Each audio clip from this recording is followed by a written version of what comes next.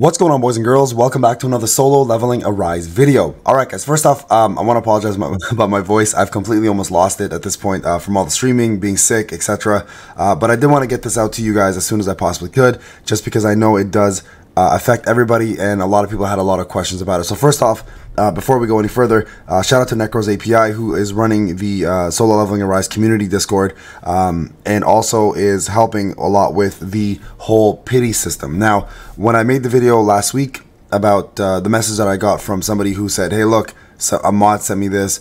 It says that pity doesn't transfer over." uh, Necros actually was the first one to, to reach out to me and was like, hey, bro, I think that's a fake. Let me reach out to customer service and get a real message for you. So he actually, as a matter of fact, did do that for me. And here is the actual message. Like you guys can see here, it's it's actually from the website from Netmarble customer service. This is the date. Everything here has been pretty much pretty much put together for us. And then here's the actual message from Netmarble. Okay, so this is hopefully going to put everybody at ease, uh, including myself. So thank you for contacting Solo Leveling Arise customer support. We appreciate your sharing your concern with us and our sorry for the confusion you had due to this matter. Upon checking with our team, please note that after the uh, rate up period for a specific hunter ends, the final SSR acquisition support rate will be maintained even when the rate up banner for the next hunter begins. So there you guys go. We hope this answers your inquiry. If you have any qu uh, questions or concerns, please let us know. We'll be more than happy to assist you. You may also refer to our official Discord and forum for the latest on the news. Now, I don't know if the other message was a fake or not, or if it was just confusion, but now this is confirming to us and I believe this one because like I showed you guys in the last video I wasn't believing necessarily what happened I just let's see what let's see what happens right because in the game um, chat you guys can see or in the game guide you guys can see that in fact it does say pity does carry over. So this is just the final confirmation. So again, Necroz, thank you so much for putting that together for us and reaching out and letting us know, in fact, that it will be carried over. So there you guys go. I hope it puts a lot of you at ease.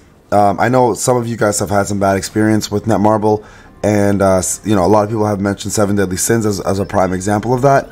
I hope that this kind of does, you know, lighten the mood a little bit for those folks, and you guys can see that you know the the company is trying its best, obviously, to cater to its customers and its support. So I just want to bring that out there again.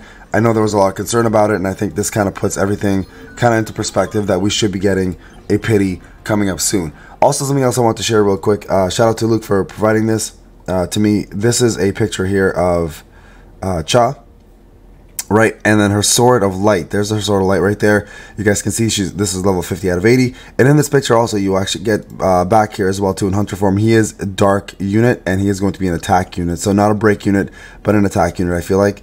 Uh, but the only problem I have with this, and this is kind of where my concern lies with this whole picture, is that if you look here, everybody here has attack, right? If I go back to Emma in the game, this is a little confusing to me because I don't know if this was something that was done early on in the phase or if this is a fake, uh, but she's got a shield. So I know a lot of this stuff is going around. I just want to make sure that people know that not everything you're going to see is real. So I'm not sure if I go back again to the picture if this is actually real or not because again Emma looks like she has a sword when we know in fact that both her and uh, Jinchul here both are actually tanks and same with Kim. So a little bit weird to see this. I'm not sure where this came from. This looks like a dev because look at the, look at the amount of gold this person has as well too. This might have been a dev account maybe early on uh, when they were trying to figure out the whole concept of the character, but it looks like it might not be a real one either. So again, um, including myself, this this is also for me too, guys. Uh, we just got to be more careful with the things we look at and the things we obviously uh, believe. That's why when I made the original pity video going through the game guide, I said, yeah, pity does transfer. When I made the second video follow up saying there's a little bit of confusion, I that's is why I was like, you know what, this is not real. It may be real, it may not be real. Uh, let's just wait to see what happens. And I'm glad I did because now we actually have somebody who followed up. So again, thank you, Necroz, and gave us the truth. So for those folks who are a little bit concerned, hopefully this puts you at ease. Okay, um, a couple other things I want to talk about here. Um, there's been a lot of progress here for the Igris, the red fight. Uh, you guys can see I, I, am second place again. So shout out to Dark Deed, whoever you are. Uh, you beat me by, by a second, so now I got oh not even a second, like less than a couple seconds, like milliseconds. So I'm gonna have to come back in here and do this again. Um, so there has been a lot of people who have been giving their opinions on the best way to run this. Uh, so I'm just gonna show you guys real quick my run. I will say this: um, there is a better way to do this, by the way, by not not necessarily using Westwind, but if you use the bow and the huntsman. But I don't have the huntsman leveled up enough, or not leveled up enough. Um, high enough, I think personally, to do what some of the folks doing at 50 seconds or so are doing it for. So uh, you can definitely get. It's not cheating, guys. I know a lot of people are like concerned about cheaters. The what I'm referring to is not cheating. Uh, some folks are actually able to do that. And um, sorry, one sec here. Let me just focus on this. Oh, this is really bad. some people are actually able to do the 50 second thing. It's just that they're just super whales. They're like mega mega whales. Um, so you just like I'm a whale, yes, but I'm not like a super duper whale. I'm not like a kraken whale. You know, I'm like a regular old whale.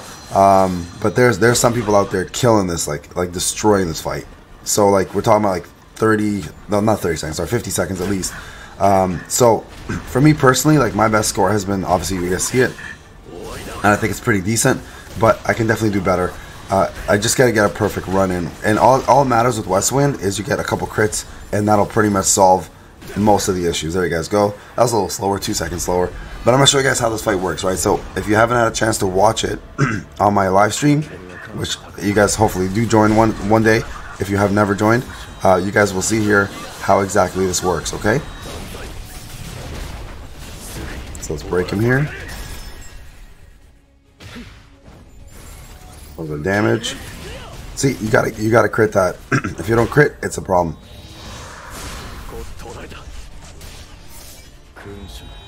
He's gonna go invincible. So a 49 health, guys, he always goes invincible. So just for your own for your own knowledge, whenever you see that 49 health pop up, just watch it, okay?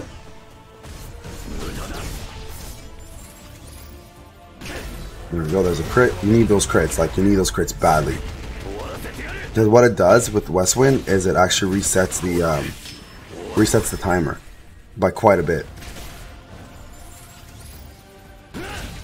There's another one. Still one more to go.